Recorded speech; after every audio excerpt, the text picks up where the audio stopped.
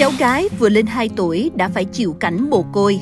Ông Bùi Văn Chí và vợ ở quận 8 thành phố Hồ Chí Minh phải thay con nuôi dưỡng cháu ngoại. Suốt gần 6 năm qua, vợ chồng ông làm đủ thứ nghề, ai thuê gì làm đó để kiếm tiền lo cho cháu ăn học đầy đủ. Nuôi không có không có xin ai hết trơn. Ở nhà trọ mười mấy năm chứ không có thiếu tiền nhà. Bà đi làm à, giúp việc nhà đó, làm tiếng đó, người ta cho 50 trăm, rồi làm hai ba nhà cũng được hai ba trăm. Rồi tôi theo xe cũng được 200 rồi sống đóng tiền nhà tiền cửa ăn uống rồi cũng dư được chút đỉnh Tưởng chừng cuộc sống gia đình ba người sẽ bình yên trôi qua dù còn nhiều vất vả thì dịch Covid-19 bất ngờ ập đến. Đợt dịch thứ tư tại thành phố Hồ Chí Minh, cả nhà ông Chí đều nhiễm bệnh. Không may, vợ và mẹ vợ ông Chí không qua khỏi, để lại hai ông cháu bơ vơ. Lúc đó buồn ông chú ơi, lúc đó tôi không có nó tôi cũng mất theo luôn rồi, tôi cũng đang thở oxy. Buồn lắm nhưng mà nhìn nó, thấy nó rồi gắng gượng nghĩ bây giờ nếu mà tôi chết là ai chăm sóc nữa. rồi đưa nó vô mồ côi tội nghiệp lắm. Ở tôi gian sống. Sau những ngày tháng chống chọi với Covid-19 và thành phố hết giãn cách xã hội, ông Chí gắn gượng, vực dậy tinh thần để đi phụ hồ, kiếm tiền trang trải cuộc sống và cho cháu gái tiếp tục đi học. Biết hoàn cảnh của hai ông cháu khó khăn nên hàng xóm xung quanh cũng quan tâm, giúp đỡ. Cháu gái của ông vẫn thường qua nhà hàng xóm bắt wifi để học online. Nhiều lúc đi làm, ông vẫn thường nhờ hàng xóm trong nom cháu gái giúp.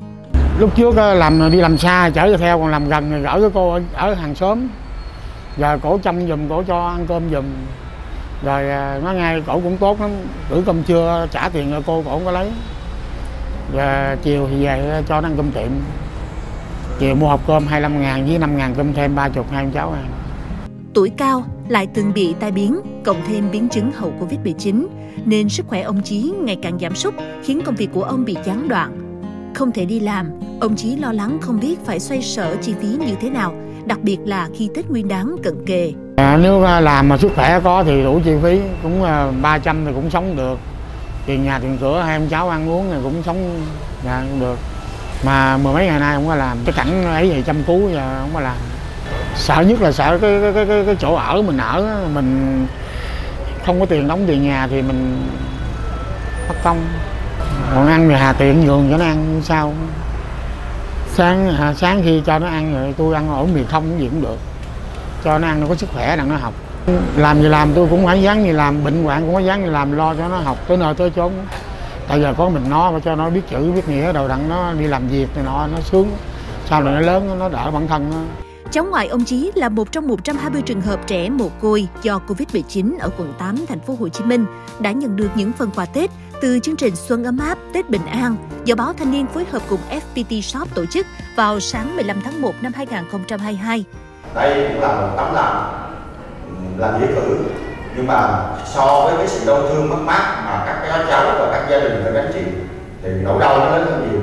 Nhưng mà ờ, gần cũng gần tết rồi chúng tôi cũng mang tấm lòng của bạn học của tình yêu thương để mang sự ấm áp trong mùa xuân đến. Và cũng uh, xin ờ, chúc uh, các đồng chí lãnh đạo và quý vị phụ huynh cùng với những doanh nghiệp đối tác các cháu các cháu học sinh có một cái mùa xuân ấm áp một mùa xuân yêu thương Chương trình Xuân ấm áp Tết bình an sáng 15 tháng 1 năm 2022 đã trao quà Tết cho 120 trường hợp trẻ em mồ côi trong chương trình Cùng con đi tiếp cuộc đời của báo Thanh niên. Tôi hết sức cảm ơn báo thanh niên đã cho chúng tôi một cái cơ hội để tham gia vào cái chương trình ý nghĩa này. Và cũng rất là cảm ơn các ờ, lãnh đạo, ờ, các anh chị lãnh đạo quận 8 ờ, đã tạo điều kiện cho chúng tôi có mặt ở đây. À, và à, cũng xin nhắn nhủ đến các anh chị, à, các bạn trẻ có mặt ở đây. Cái dịch rất là khó khăn, nhưng mà chúng ta là những người rất may mắn vì hôm nay còn được đứng ở đây nói chuyện với nhau. Thì cũng mong là tất cả các em học sinh, các bạn ở đây thì ý thức được rằng là chúng ta là đã may mắn hơn rất nhiều người khác để sau này có một cái ý chí vươn lên học tập thật tốt và quay trở lại giúp ích cho xã hội và đóng góp cho mọi người Chương trình Xuân ấm áp Tết bình an do báo Thanh niên phối hợp FPT Shop thực hiện bắt đầu hành trình từ ngày 13 tháng 1 năm 2022. Dự kiến lần lượt trao tổng cộng hơn 350 phần quà đến các bệnh nhi có hoàn cảnh khó khăn tại một số bệnh viện và trẻ em mồ côi do dịch Covid-19 trên địa bàn thành phố Hồ Chí Minh.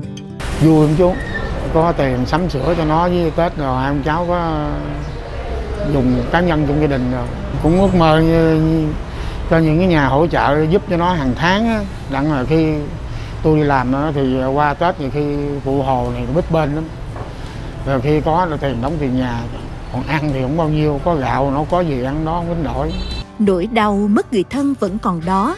Tuy nhiên, với những món quà vừa nhận được, hy vọng Tết này của ông Chí và cháu ngoại sẽ ấm áp hơn. Những sẻ chia tuy nhỏ bé, nhưng sẽ tiếp thêm niềm tin cho hai ông cháu trong chặng đường khó khăn phía trước.